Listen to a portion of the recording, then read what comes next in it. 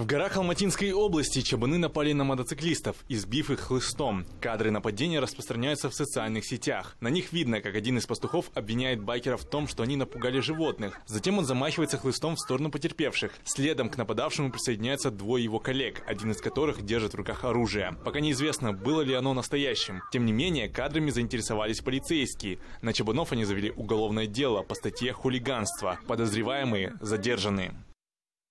В настоящее время по данному факту возбуждено уголовное дело, проводятся оперативно-розыскные мероприятия по задержанию нападавших.